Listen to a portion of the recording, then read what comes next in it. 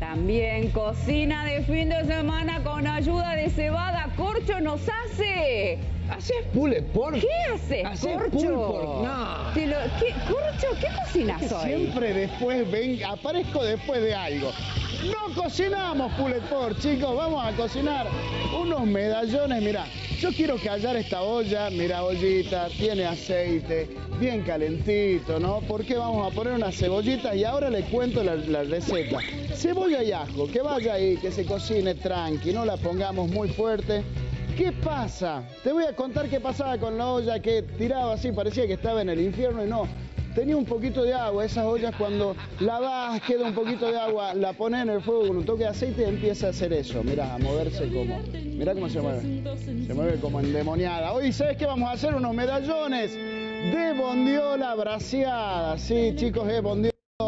Mirá lo que es eso, vamos a brasear una bondiolita tan rica con una opción que le puedas poner caldo, puedas festejar el día de la cerveza poniéndole una cervecita negra, va muy pero muy bien. Siempre vamos a hablar porque el cerdo va muy bien con la cerveza, es algo que has visto cuando este, hay, hay combinaciones que no va este, Cerdo y cerveza va muy bien. Yo no sé si me acuerdo bien, pero en algunos tiempos decían que el chancho y la cerveza te hacía mal, te caía mal.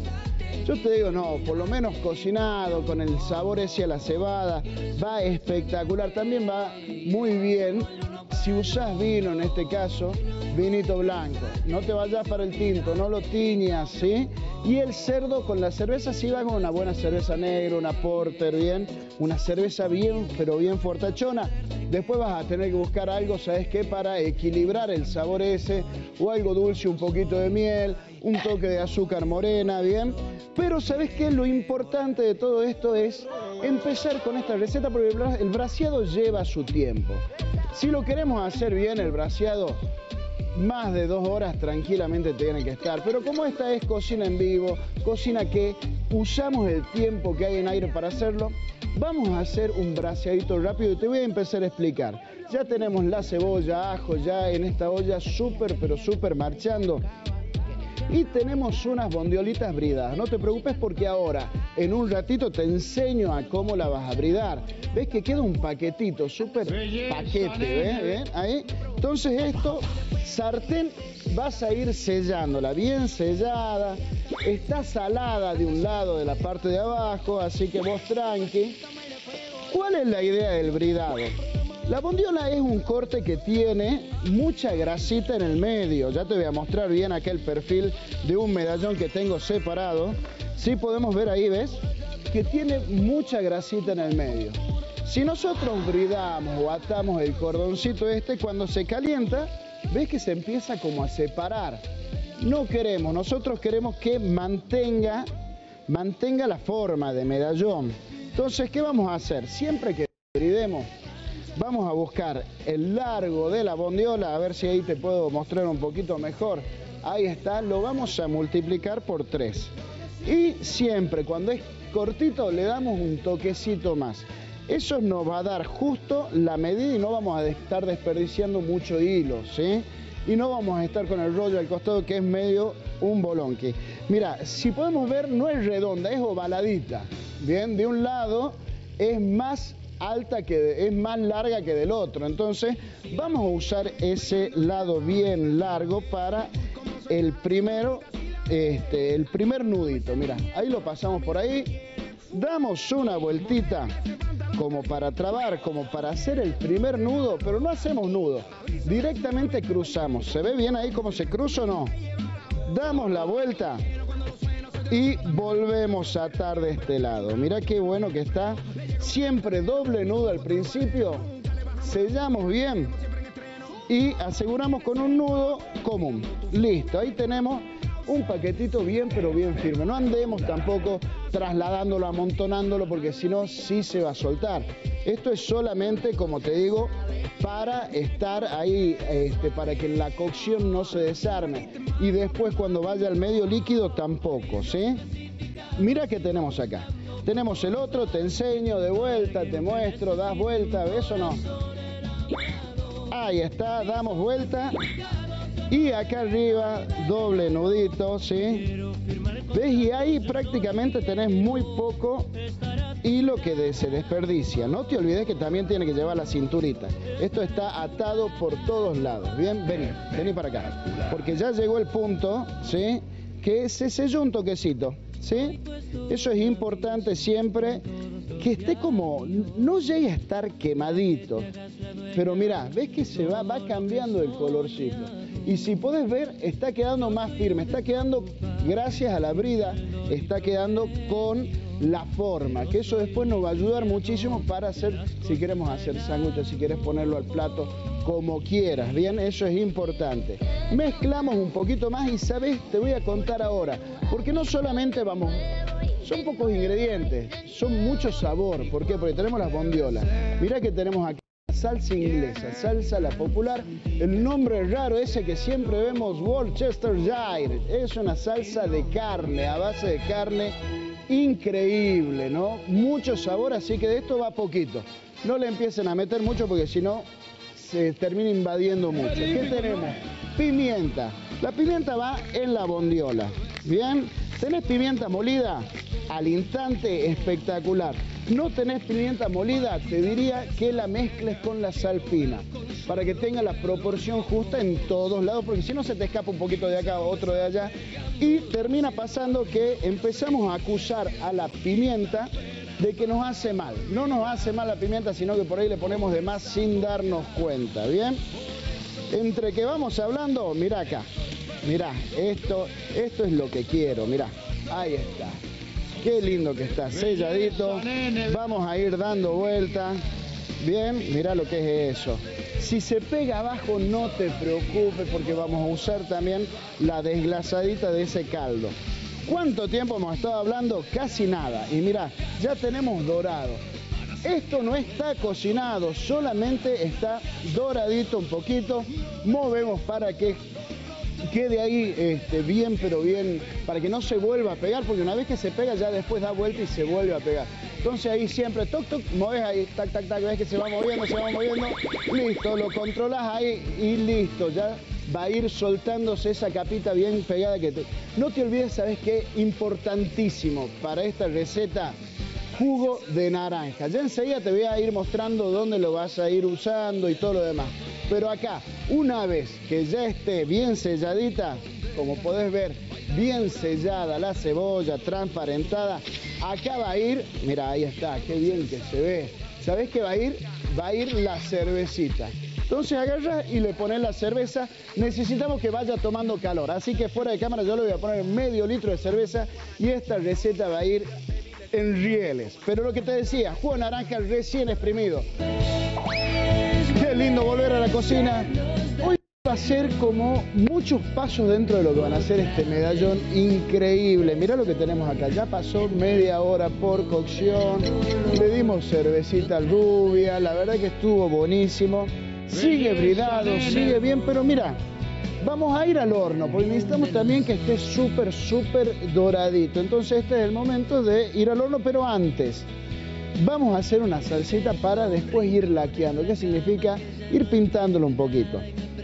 Todo el fondo, las verduritas, ¿sí? ¿Te acordás que tenía cebolla y ajo? Bueno, están puestas acá. ¿Qué le vamos a ir poniendo? Le vamos a ir poniendo salsa inglesa. Esto le va a dar el sabor. Estamos hablando de dos cucharaditas nada más de salsa inglesa. No estamos hablando de mucho. No vamos a invadir el sabor. Acordá que ya tiene saborcito a cebada, tiene saborcito ya prácticamente a todo lo que le pusimos, pimentita, eh, la misma bondiola. La bondiola, la carne de cerdo, es muy suave, delicada, entonces no hay que ponerle muchas cosas porque si no termina teniendo todo lo que es el sabor del condimento o el aderezo y no tanto la bondiola. Una vez que está integrada, mirá cómo los borbotones van de a poquito haciéndose un poquito más pesados, ¿sí? Esto se puede hacer en la misma olla, en la misma olla que estabas usando antes. Nosotros cambiamos de olla acá, ¿sabes para qué? Para que se pueda ver, nada más. Por eso, pero en realidad vos podés trabajar esta receta de principio a fin en la misma olla y una asadera para el horno, ¿bien? Va a bajar la temperatura un toque y en este momento cuando baja la temperatura es cuando vamos a aprovechar a poner dos, este, el jugo de dos, de dos naranjas, tiene que ser algo dulce. ¿sí? Vamos con naranjita, puede ser mandarina, sí, pero tiene que ser algo dulce para cortar la cebada y, el y lo amargo que tiene la cerveza. Y vamos a usar el picantón, es algo como ir buscando los puntos. En este punto el picante es muy, es muy bueno, pero como en la casa puede haber alguien que no le guste tanto el picante, ¿qué vamos a usar? Mostaza, no, no pongas eso, ¿cómo es eso? No, escuchá, chanado. Mirá, escuchá, hay muchos que son intolerantes al picante, yo los banco. A mí el picante me encanta, de todas formas, ¿no? Pero acá con cuidadito, si estás en la olla, obviamente, en la olla profunda, batilo bien, acá vamos a ir integrando de a poco, aprovechando que bajó la temperatura, no están los borbotones limpios, entonces vamos a ir integrando toda la mostaza súper tranqui. ¿Para qué es esto? Tiene que reducir, tiene que quedar una salsita bien espesa, que esa después, cada 10 minutitos, 15 minutitos, vamos a abrir el horno y con un pincel justamente vamos a ir dándole mucho brillo eso y mientras tanto, ¿sabes qué? Vas a ir preparando todos los pancitos, preparando cómo querés aderezar esto, pero ¿sabes qué? Antes de esto, y antes que estén estos medallones, super medallones, fantásticos, con esta salsa de carne, salsa de carne y de mostaza, ¿sabes qué? ¿Qué? Hay recomendaciones. Hay recomendaciones, claro que sí, porque estamos hablando de la distribuidora Avícola Tonetti, que tiene el mejor pollo, el mejor pescado y mucho más. Es líder en el NOA y podés seguirlos en sus redes sociales. Llama al 3815-980144, distribuidora Avícola Tonetti. Y así con este aroma riquísimo en tu cocina, Corcho. Perdón, antes de irnos a la pausa te voy a decir algo. Ayer estuve conversando con muchas mujeres. Opa. Las mujeres. Peligro. Las señoras, las jóvenes y las mayores. chancleta en mi casa. Te aman, te aman. Las mujeres te aman, te aman, sienten algo por vos, así como especial. ¡Hambre, sienten hambre! Sí, porque les enseñas, hambre. porque tenés carisma, porque les enseñas a cocinar, porque hacen tus recetas y porque te esperan, Corcho. Y me dijeron que te haga esto, mira. Mi abuela, Ahora mi abuela sí. se apareció acá mi abuela. pausa, ya venimos. Siempre listos acá, para, porque vení, eso te quería mostrar, no hay nada más lindo cuando haces una cocción mixta, estás entre olla, horno, es momento, ¿sabes qué? De darle mucho cariño, mira. Esto va tranquilo, tiene un fondo, si podés ver, tiene un fondo con líquido. Esto no se va a secar, hay que mantenerlo con caldo, tranqui, bien. ¿Te acuerdas la salsita que habíamos empezado que tengo acá al lado? Mirá la textura que tiene. Es ideal esta salsa, ¿sabes qué? Vamos a ir poniéndole ahí. Esto aparte va exactamente pintando un poquito. Va a hidratar mucho, va a dar mucho, pero mucho sabor.